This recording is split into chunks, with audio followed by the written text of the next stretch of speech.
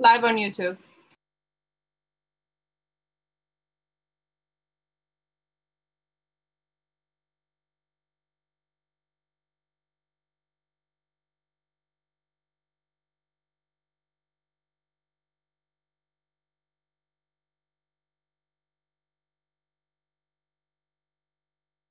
And we're on our site, we can start. Good evening, everyone. This is Deputy Borough President Ebony Young, and I will be um, assisting our Borough President Donovan Richards, who had a scheduling conflict today with our board meeting. I hope everyone on here had a joyous Mother's Day and got to spend some time with their family and their loved ones. I want to start off by thanking all of the council members, community board chairpersons, and Borough Hall staff who are on the Zoom call today.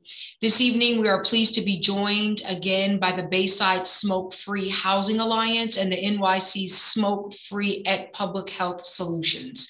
Back at our February board borough board meeting, the board received a presentation that detailed a resolution that calls for landlords of existing and new apartment residential units to transition to a smoke-free apartment policy. The resolution was sent out to everyone last week along with the presentation PowerPoint that was presented in February. We are joined by Phil Konigsberg, who is the founder of the Bayside Smoke Free Housing Alliance. Alliance. Phil is accompanied by Eileen Miller and Lawrence Saunders. Phil, Eileen, and Lawrence will give a brief summary and overview of the resolution. Then they will answer any questions that the board may have. After the question and answer session, the board can move for the resolution to be adopted and we'll hold a vote. Welcome, Phil, Eileen, and Lawrence. Thank you. Thank you very much. I welcome uh, everyone on the uh, Zoom call here. Uh, I appreciate the opportunity to once again uh, present our resolution and uh, ask for your support in passing this, uh, which is a, a smoke-free housing resolution, a voluntary uh, request of all landlords to transition their buildings that are not smoke free yet to a smoke free environment. Um, I want to preface it for those that may not remember from February or weren't present. Uh, we're not the first borough to uh, bring this up. The Brooklyn Borough Board passed a similar smoke-free housing resolution several years ago. Uh, at that time, it did not reflect the current COVID-19 health uh, pandemic and the effects that smoking, secondhand smoke has on smokers as well as non-smokers. Um, I would be happy to answer any questions. I just want to make it clear that this is voluntary. This is not any uh, mandate at this point. And we're hoping that with the borough board support, including the borough president, that landlords who have been hesitant to this point to go smoke free uh, will be encouraged to do that as they can rely on this uh, resolution. Um, I'd like to hand it over now to Eileen Miller, who is a adult nurse practitioner and also the health chair of Community Board 11. I am, uh, again, I'm the health chair of Community Board 7, but this is strictly a personal request that we're doing this. It's not connected to the community board at all. I want to make that clear. And thank you.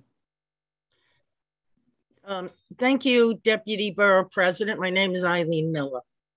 Uh, I'm a nurse practitioner. We are concerned citizens, and most of us are volunteers. The idea that we don't want government telling us what to do is not the case in privately owned buildings at this time. To me, this is personal. If a diabetic chooses to drink the sugary drink, he or she will only be affected.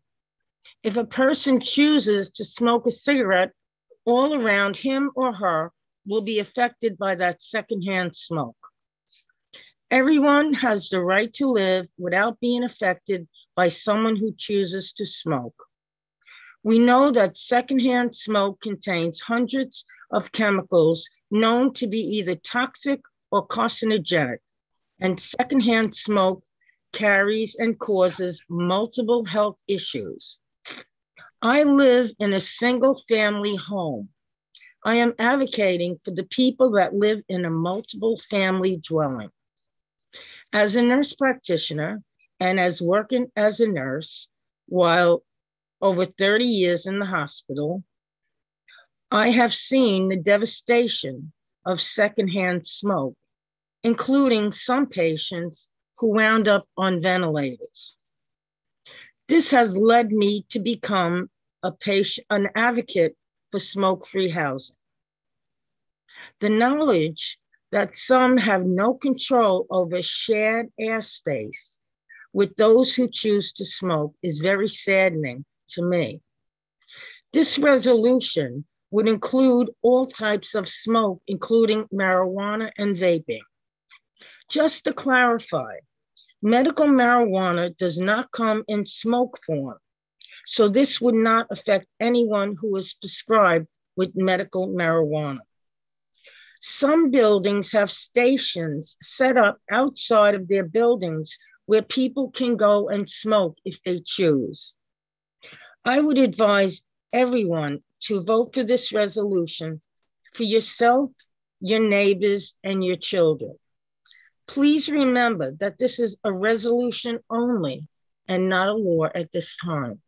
Thank you for your time, and I hope you will consider what I believe is doing the right thing for our neighbors. Thank you. Thank you, Eileen. Is there anyone else? Yes, uh, Lawrence, mm -hmm. Lawrence, you're on mute. Yes.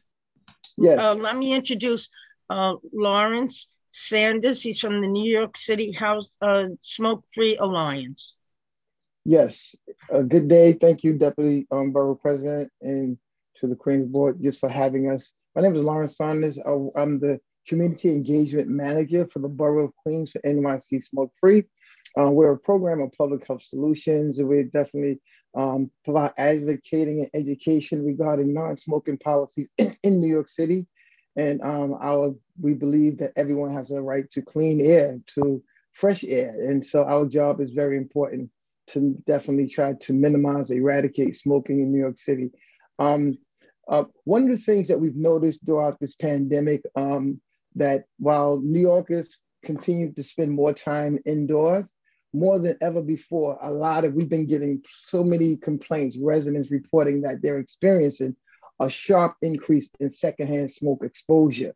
So that's some of the things that we've been getting calls consistently, and people who are affected with asthma and people who are on breathing apparatuses.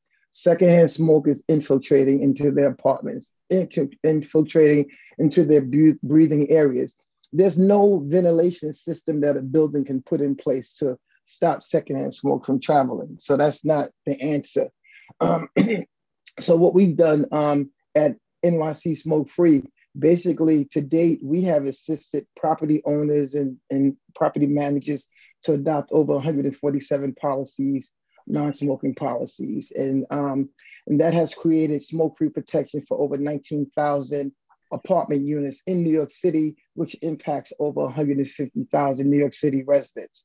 Uh, we come today just to provide, uh, you know, our hope that this resolution would be adopted, um, that so that people can actually, you know, breathe e easier. We know that with the correlation between COVID and those who are smoking, there because of COVID does affect the respiratory um, area that and if you're smoking, secondhand smoke can even exacerbate it and makes make it more um, more just more uh, just more negative, have a more negative impact on people's health.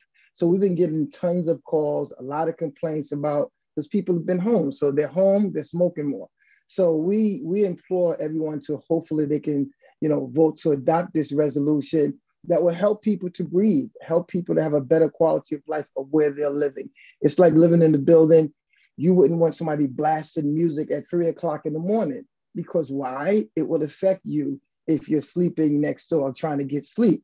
Well, smoking doesn't just affect you in a way music would, because I can I can lose a night's sleep, but then secondhand smoke cause can cause me to lose my life. So we're here today. We just hope that this uh, resolution is adopted. And we thank you. Thank you so much for just bringing this to a vote. And thank you for your time hearing us. Thank you so much, Lawrence. We'll now open the floor up to questions. I already see two. Uh, the first I have Dolores Orr, and then we'll move on to Vincent. Good evening, everyone. So uh, a couple of questions I have and com comments, I guess, also. Sorry, I'm just trying to get my sound off. Um, so it's a recommend, the resolution we're looking at is a recommendation for tobacco. So my first question is, I hope that this is the first step uh, in the process of stopping smoking in uh, multiple dwellings. I feel, and I'm hoping it's being worked on, that any new um, construction should be an automatic requirement that there is no smoking allowed. And certainly if it's affordable housing that they're getting government funding. So I hope there is uh, that process. It's I know it's tedious and involves a lot of agencies, but I hope it's something we're working towards. Uh, the other thing is the resolution says tobacco, and Eileen had mentioned um, for it to include, I don't know if it's a wish or the intent was to include both um, non medical pot and vaping. And I in the first sentence of this, it clearly says just um, tobacco. So if somebody could answer those two questions for me, please. Well, well basically, good, Phil, you can go down. Well, I was just going to say that uh, when we say smoking, it's really smoking of any substance, whether it be tobacco, whether it be marijuana, whether it be, you know, vaping, uh, anything that is considered smoking that the remnants, the secondhand smoke or secondhand vapor that will affect other people living in that building is, is okay but phil the motion doesn't say that it opens with tobacco and the now therefore it be resolved to prohibit the use of tobacco and tobacco products in any apartment it doesn't talk about any other uh, items being smoked. Okay. So are we just voting for tobacco or we're talking about tobacco? I'm sorry. I think tobacco products. I think uh, marijuana is a tobacco product. It's mm, similar. No. It, no? Okay. Well, no, it's no, it's not. It's it's totally different, and right. and the lady is correct. She's this is Frank Taylor, Community Board uh, Three Chairman, and what she's saying is absolutely correct if you're going to put uh, forth a resolution, the resolution has to be correctly worded. Okay. And tobacco does not get into vaping. It does not get into marijuana. It only says tobacco. I, I agree with her totally. So it it should be changed to all uh, smoking, um, all smoke, all smoking of if, any kind, smoking of any kind. If you go on the city New York City website where they discuss the smoke. Uh, I think it's local law 147, the uh, smoking disclosure uh, policy uh, requirement. The definition for smoking does indicate uh, tobacco as well as uh, marijuana. And I believe there might have been some, or any, or it says something to the effect of any substance. I, I have no problem Okay, uh, so I want to vote for this, but I can't just if it's just going to be tobacco and the intent is for more than that.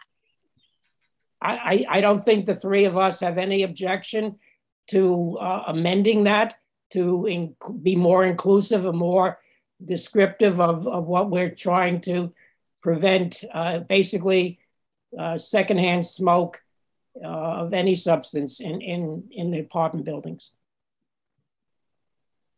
Right.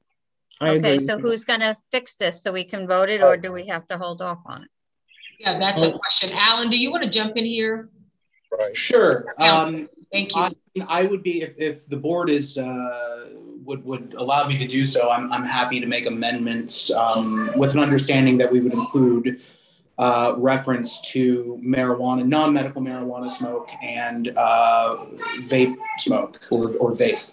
Um, would the board like to see language before voting on that, or would the board be comfortable with voting uh, for this resolution with those proposed changes?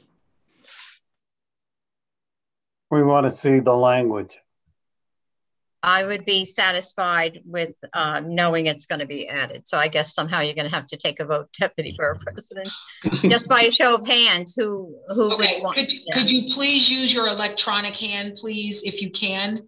Um, if you would like to. Uh, um... Hold on. Uh, let me lower everyone's hands first. Okay. I would prefer we do a roll call just so that it's it's on the record. If that's okay with you, Alan. State what we're doing a roll call on to see if you prefer to vote. I'll let Alan go ahead. Yeah, I think Alan should probably feed off here. So. Right. Um, what I would, I think that we can just take a temperature of the room if you'd be prepared to vote tonight, or we want to hold off for um, another month. So, how about if you are willing to vote for the resolution tonight with the understanding that it will be um, amended to make reference to non-medical marijuana smoke and uh, vapor, um, please raise your hand now. Okay, so I'm only seeing three. Can you repeat uh, that? I have a bridge to sell you. You can't ask me to vote on something I can't see. That, Vinny, that's I, fine. I then you're just opposed. I think, okay. I think that that's the view of the board. If, if I'm reading the temperature of the room right now, that's perfectly fine. Can you restate it, the question?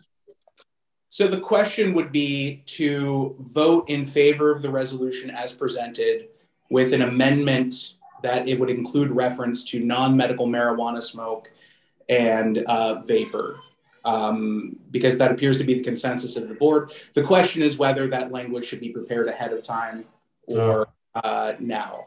Um, so if you would be prepared to vote on that tonight, uh, please raise your hand. Am I fair to say that we don't have a vote? it, it, it, looks like it. Um, I am happy to either revise this and then recirculate it to the borough board in anticipation of a vote uh, next month. Uh, I, I, actually I, I, agree with Vinny here that that we want to make sure that we know precisely what we're voting on and we don't do this on the fly. So um, I still I, have to give my comments. Please, please do. Yeah, the, the discussion isn't over, but I just uh, the discussion of whether to have a vote tonight, I think, is. Okay. Please, Vinny. So, if I may express my comments, as I said in the past, this is that slippery slope uh, that we're sliding on, and Dolores and everyone else, a co-op or a condo is a private home, and yes, they often are financed or paid for with federal loans. So it's no different than a private house. So, as I stated before, the slippery slope is no good, and I would vote against it totally. Thank you so much, Vinny. We appreciate that. Any more questions? Gene? Uh, thank you, uh, uh, Deputy Borough President. Um, I, I, just should just ask one uh, thing uh, on your case. If we could get the chairs to put their name as chair, what, what it is, because when you ask for who was voting, we have quite a new few chairs, and I don't know who the new chairs are. So if we could ask our, our overseer over at the Borough Hall to put their numbers in, it would be appreciative. Um, yes, thank you. I, I, have to thank Phil for the work that he's done. And you have to understand, Phil has gone back to 2014. Um, I did not vote for this on my board, um, it, but it won anyhow. It was an 18 to 17 vote that we had, and a lot of discussions. I, I spoke to him today about it, and I have problems with the uh, the Queens resolution. Um, the first thing I have is the secondhand smoke issue. Um, if we're asking for smoke free, why are we hounding away for secondhand smoke? Smoke free means there's no smoke in the building. So why are we reiterating and pounding away at it? So that's the first thing that bothers me. I, I think that the, the last, second to the last paragraph, where you were making reference to tobacco and tobacco products, the things such as units and other such units, blah, blah, blah, secondhand smoke, I wouldn't vote for it with that section being in there. The second item I have is when you talk about smoke seepage, we're going to worry about tobacco products. Then what about all the other people that are cooking in the building and all the curry and the and the garlic and all the other stuff that comes up through the building? We don't seem to worry about that, but some people don't like curry and, and stuff, and some people don't like garlic, and we have them seeping through the building. So, you know, when you say seepage, it creates a big problem. I understand the smoke free is smoke free is smoke free, then that means there should be no seepage, period. So I think that needs to be clarified. And we're not clarifying, we're just hounding away at words to put into a resolution. The second thing I have to tell you is I'm not in favor of this thing because I think that the people that smoke have a right. We've taken everybody else's rights, but we fail to remember that uh, smokers have a right. It's very hard for somebody that smoke to quit smoking. It is very hard. It's like an alcoholic that won't stop drinking. It's like a drug addict that won't stop. We help them out, but we don't banish them to the four winds. And making them go outside is not an acceptable answer to me. If they want to change the thing and say that the developer should put a room in, in the building to accommodate smokers that will be vented outside, that's fine with me. I could live with that. But at least we're taking their concerns in here. I, I find it very apprehensible in this day and age that what's good for one is, is going to be the answer for everybody. We do have smokers, and it's not an easy thing to break. And I do understand the, the ramifications of how smoking is bad for me, but that's the choice of the smoker that wants to continue smoking, and I understand that. So I could not vote for this resolution if we don't put something in to protect the smokers to say that the, the developer has to put a room in that will be used by them, by anybody that wants to smoke, and it's vented outside so it doesn't affect the building people. That I can live with. Thank, Thank you. you. Thank you, Gene. Maury? Oh. Uh, yeah, um, uh, thank you. I um, I just want to say that I am in full support of uh, this resolution. Um, I think for me, I totally understand uh, Chair Kelty's viewpoint, and I do believe that if things are uh, legal, then people should be allowed to do them in the privacy of their own home.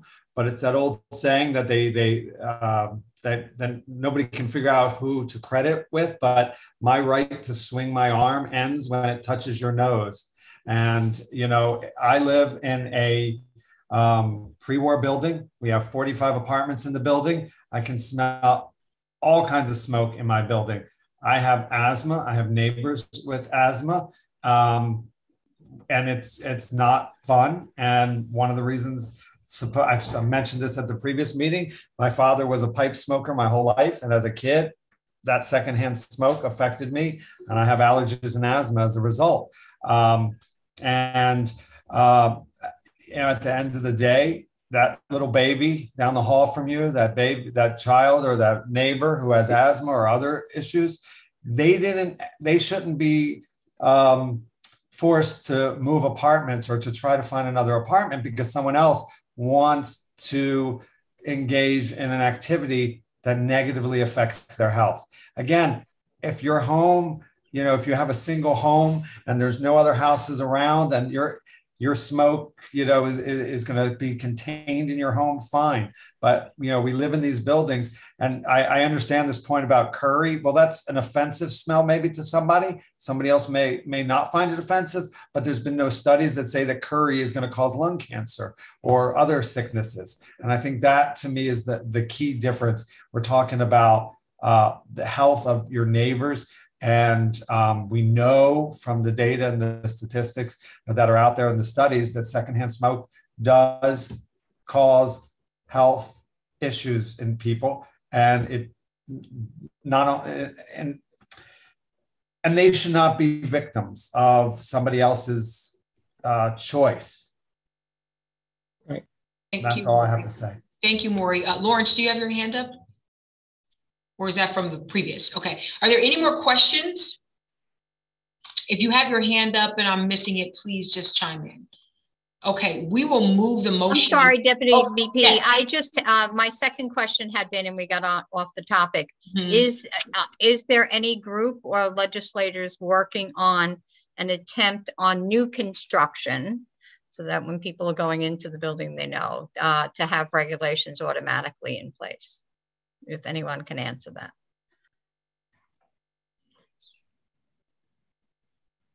The only legislation that I know that might still be on the books that goes back nine years was then Council Member Donovan Richards proposing legislation for any city subsidized uh, construction of multiple housing that that would be smoke free. But um, I think that lived its its life and hasn't been around very long. Hasn't been around any longer. Okay, thank you.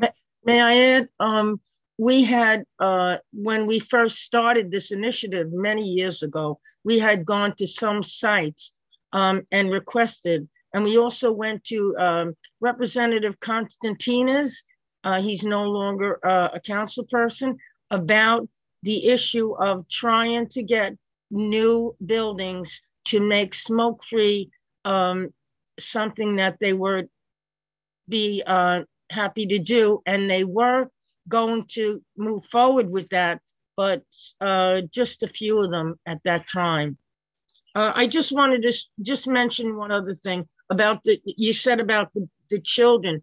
Uh, so if you live in an apartment and uh, you don't know who's behind that door, and if it's a little baby with tiny lungs and the smoke goes under the door and goes into that apartment, yes, it also affects that little child. And that's nothing to do with um, that person, it's the one who's smoking. And is that fair? Uh, one other thing, like you did mention about the curry, I have not seen any reports that curry or any other spices cause any kind of lung or problems, um, medical problems for the general population or otherwise. Uh, and just one other thing, I have a mortgage on my house. I know I go through a bank. And, you know, I didn't realize that it's a federally backed mortgage, but even still, I'm, as long as I'm paying my mortgage, the federal government isn't going to tell me what to do or is not going to be um, saying anything about uh, smoking in my home. Thank you, uh, Eileen. Maury? Yeah, sorry, I was so, so caught up in sharing my opinion and you know what they say about opinions that I forgot to ask the actual question. The the resolution we have here, it's also it's I just want to clarify when it's up for the, the landlords to decide if they want to do this, right? It's not yes. mandatory. Yes, not mandatory at all. It's up to the co-op, it's up to the landlord of the building, and that's the way you know, it's up it's a choice that the building tenants will make. It's not something that's going to be mandated or the landlord. So then we we could look at this as an issue of uh, of freedom and private property rights. If they own that building, they should have the right to have their own rules. Right. Right. Yes. If the individual owns the co-op or the condo, and they have their own private rights. Well, actually, in North North North, North Shore Towers, um, that is a, a, a, one of the largest co-ops in actually, I believe, the country. And they all got together and they all voted that they wanted smoke free in their buildings. The only place you can smoke is on their golf course. And um, that whole um, co op is all mm. smoke free in your apartment, cannot smoke. Voluntarily not mandated because you cannot tell someone what to do with their own property. Right. And they all decided they did not want to be having smoke free in their apartments. So the whole complex is smoke free. Okay. Thank you so much, Eileen. Thank you, Vincent. Uh, Gene. And thank you. Um, yes. Thank you, Deputy Borough President. Let's just get a little clear thing here. Don't forget the cabbage. The only thing I didn't say that you, when you smell curry or or what you call it, uh, garlic, it was affecting your cancerous problems. What I'm saying is it's irritating you to your sinuses. It's irritating to people who have asthma. It does affect it does affect those people. So yes, you may not be dying of cancer, but I've been in the fire department. I can't tell you how many times that I've responded to people's apartments, and because the strong odors are coming outside of their windows, coming into them because they're on the 14th floor and a restaurant was cooking below, that they were getting the odors of everything that was coming up the shaft. So yes, it does reduce cancer, but if you have asthma, it will trip your asthma and everything else. So let's be a little clear what you're defending and what you're telling me that what I asked. I just mentioned a statement that does cause problems with other people in the building. That's what I'm saying. Okay, you Thank you, clarified that. Thank you. Thank you. Okay. Thank you, Eileen. Thank you, Chief. Deputy, I, Heather? apo- I apologize. I'm sorry. Deputy, can I just ask a question? Yes. Thank you very much. Uh, this is Frank Taylor again, Queens uh, uh, Board Three Chair. Um, instead of going back and forth like this, I, I think the, the whole gist of this is that this needs to be flushed out a little bit more as an idea and things need to be put down on paper as far as this being an idea that we can vote on or not. Going back and forth doesn't help anyone. Um, as far as Curry or whatever, listen, you know, we're all here to solve a problem. This is a voluntary thing. Uh, I, I, I personally think it's good for everyone not to smoke, but I'm a non-smoker and I'm just one opinion. But you know, guys, the back and forth. Let's just uh, you know try to flush this out a little bit better, and uh, let's come back if we can humbly next month and figure it out if we can. Thank you, Deputy. Thank I you, appreciate Frank. that. Thank you. So we will move this resolution to our next meeting. Um, Heather, do you have any comments before we go? And then we'll, we'll move on to the next agenda item. The only thing I have to share is that one of the things that came up in a discussion with my executive committee, you know, is is partly this this does seem to sort of favor, it can sound sort of strange coming from someone in CB6, but this does seem to favor people who have the capacity and the financial capacity to be single family homeowners to do as they wish, as they should in their own homes.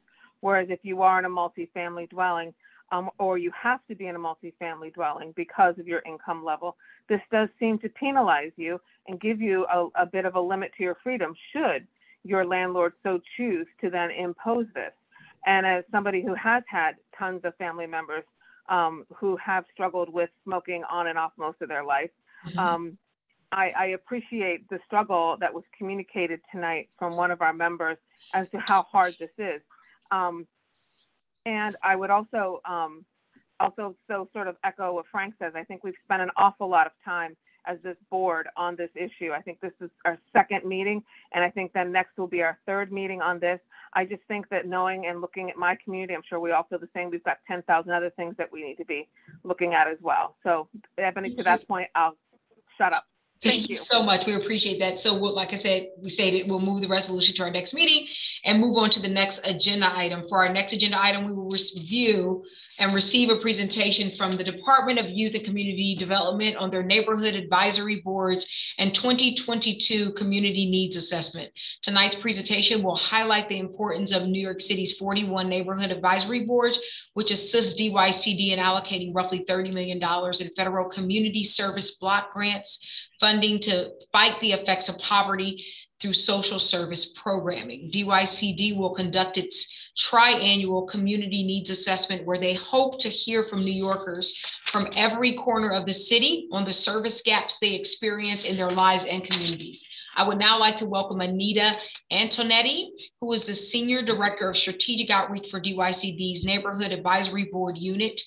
The Neighborhood Advisory Board unit works with community residents who advise DYCD on programs and services that are needed in their communities. Anita is also joined by NAB liaison uh, David Aguilera. Welcome, Anita and David. Thank you. Thank you, uh, Deputy Borough President. Uh, and I'm very glad to be here. Good evening. Um, I hail from the Bronx, but I am a lifelong Mets fan, so let's go Mets. Uh, it's my pleasure to be here. Uh, uh, so the Department of Youth and Community Development uh, is the community action agency for the city of New York, which means that it is um, it gets uh, federal funding to alleviate the, the effects of poverty in New York City.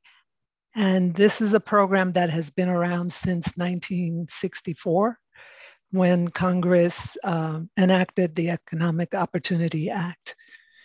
Um, and the, that act had a provision in it that said uh, members of the community that will be receiving services have to have a voice in what services are, are, um, are given to their community. So with that in mind, we uh, have we we have now 58 years later we have the neighborhood advisory boards So this slide is just the, uh, the, the mission of the, of the agency. It's the New York City Department of Youth and Community Development again, invests in a network of community-based organizations and programs to alleviate the effects of poverty and to provide opportunities for all New Yorkers and communities to flourish. Uh, the vision statement then says we strive to improve the quality of life of New Yorkers by collaborating with local organizations and investing the talents and assets of our communities to help them develop, grow, and th thrive. Now, DYCD does not give direct services. We contract them out to community-based organizations. Next slide, please. So what is the neighborhood advisory board, as I alluded to first, they, it's made up of 12 community members who uh, identify the program needs for specific areas where they reside. And uh, those areas where they reside are called neighborhood development areas. And the way we uh, create neighborhood development areas is it has to be 20% um, or more of the population has to meet the federal poverty guidelines. And we get this information from uh, the US Census and the American Community Survey that is done every single year. So every time we have a new request for proposals that is, uh, that is going to be published, we take the, the previous three years of information to see which um, communities are at 20% or more of poverty. Uh, Queens happens to have eight different neighborhood development areas. Uh, next slide, please. And as I said in the beginning, it's all part of what's called a national initiative of community action. And we we have now these 58 years later it's called the community services block grant which is given to the state of new york.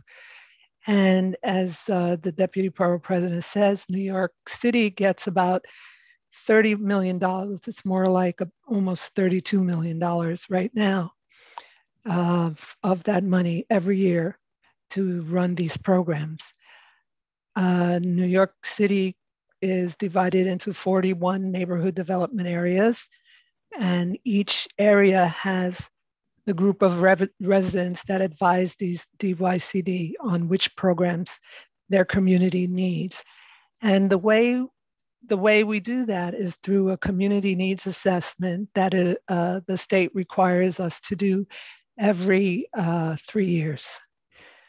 Um, the law actually had, and the bottom uh, bullet says, um, uh, uh, required that we have uh, maximum feasible participation, which means that community members need to uh, have uh, involvement in deciding which programs are needed in their community.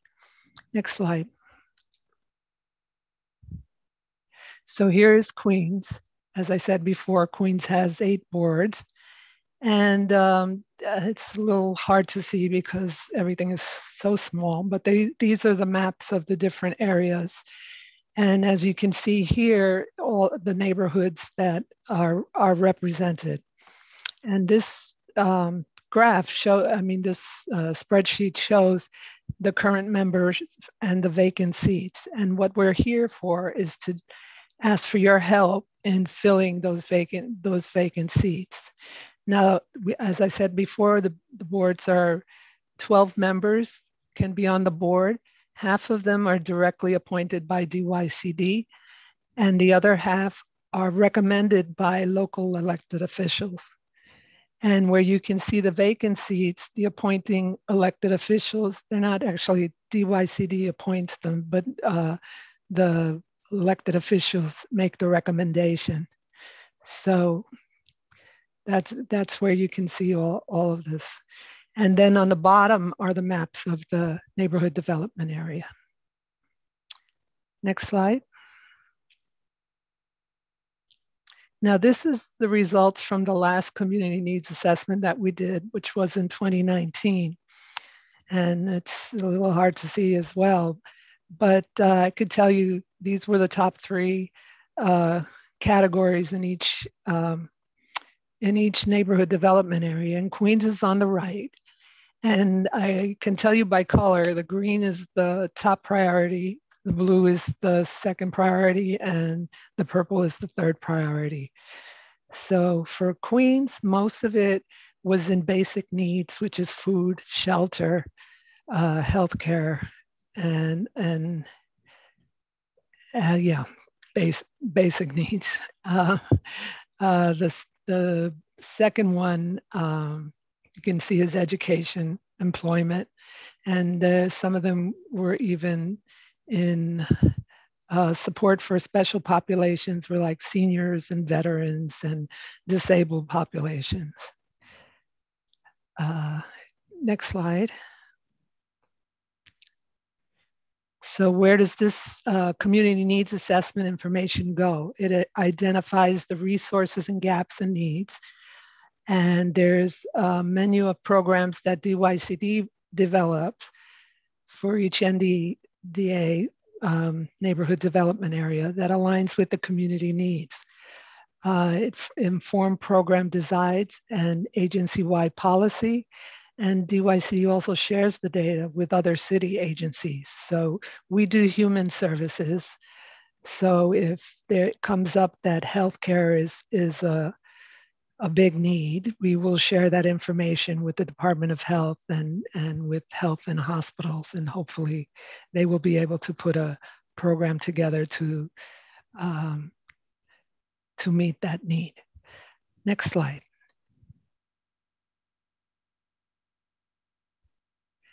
Okay, the Neighborhood Advisory Board, this is the cycle of their involvement. Um, it, as I said before, that they help with administering the community needs assessment every three years. They go out into their community and um, and and uh, distribute surveys and collect the information. When we have a request for proposals come out for funding, they evaluate the data from the community needs assessment and they set the program priorities based on the information that has come out of the needs assessment in that order the top priority, second, third, fourth, depending on how much money each neighborhood development area uh, receives. They also get to read proposals that are submitted by the community based organizations that will provide those services, and they select the best out of, out of the group. But uh, more than that, they're active community uh, residents, and we do discuss and look for resolutions for other problems that may not be in DYCD's purview. Um, but we discuss all of it. They meet four times a year, and the minimum age is 16, like the community boards. And we're looking for youth uh, to come and be part of this. This is a good entryway for civic engagement for youth. And uh, this other circle that's on the right is our DYCD, Discover DYCD, um, where you can look at, um, you can search for any program from across the city. There's two programs there. They're not neighborhood development area programs, but we have our after school programs and we also have um, the summer youth employment program as well. Next slide, please. So this is what we're we're asking is if you can help us to get uh, members on the the neighborhood advisory board. The only caveat there is is that uh, applicants or members cannot work for DYCD or have a household member that works for DYCD. Also, if they work for an elected official um, and live in the same neighborhood development area where that elected official has a seat, they would not be eligible to serve on the board. But uh, community board members can also serve on, on the NAB because uh, it's, it's not a conflict of interest. Uh, we have members from all, all walks of life. Um, and we would like to have full boards, especially now that we're going to do our community needs assess assessment again because uh, many hands make light work. So on the slide is our, our contact information. My colleague David has been putting information into the chat. And um, and I believe this is the last, is this the last slide, Dave? and I have yes. to apologize yes, because uh, my colleague Candice uh, Julian was going to make this presentation, but she got called away today, so I am stepping in in her place. So I'd be very happy to take any questions. Thank you, Anita. Any questions? Okay, I'm seeing none. Okay. Okay, so, thank you so much for making the presentation and I'm hoping people will support. Yes. Get some folks your way. We have some questions uh, we do. Betty, I see Betty. Sorry about that, Betty. yes. up there fast enough. Just a question. Uh, on on your map, mm-hmm. when I looked at the uh, map that comes down into the area that Board 10 represents, uh-huh. of Community Board 9, you have a piece of Community Board 10 in Ozone Park. The other part of Ozone Park, you've left out of it. And then when I looked over to the side, the elected officials that are involved in the nominations, none of whom I have any issues with, but don't represent those most of those areas. For example, uh, uh, Congressman Meeks does mm. not represent that whole section of Ozone Park. No, but he uh, he represents a part of it. Only a portion of it. There are two other senators. Okay, it's based on the population that is uh, 20% or more uh, meeting the federal poverty guidelines. What, okay, so then the elected officials, their districts are looked at, and the one that has the most uh, population in poverty is the one that uh, gets the seat on the board. So it's not on any district lines, it's not on community district lines. It, it used to be when it first started, it was community district uh, lines, but it's not. The population of poverty shifts every every year. Uh, so when every time we do this, our maps are are different.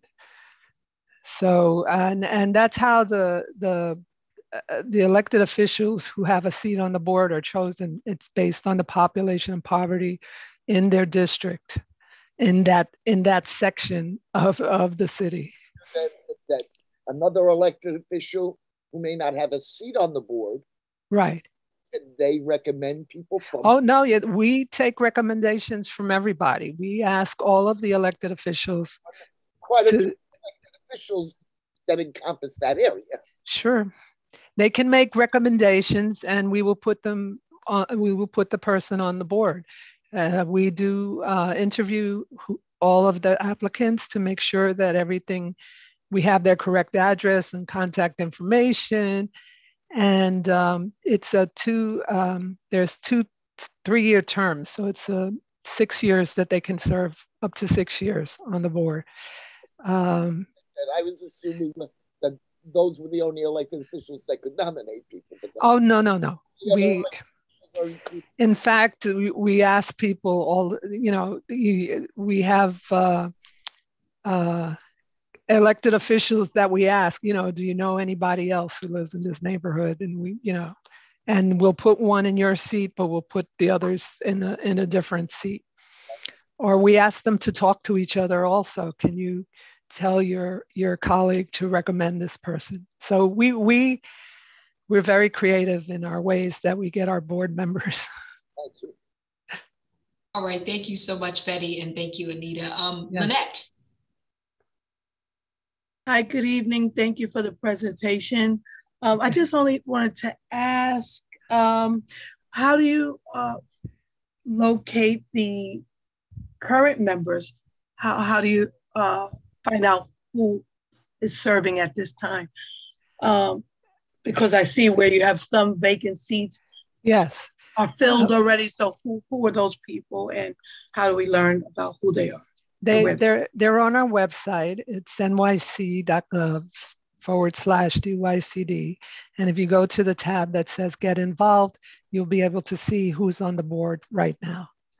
Okay, All thank right. you so much. And uh, Lynette is uh, one of our newest representatives on our citywide board, the, the Community Action Board. She's rep, she represents uh, the council speaker, Adams, on there. Very nice to hear. Thank you. Thank yes, you. Yes. Thank you, Anita.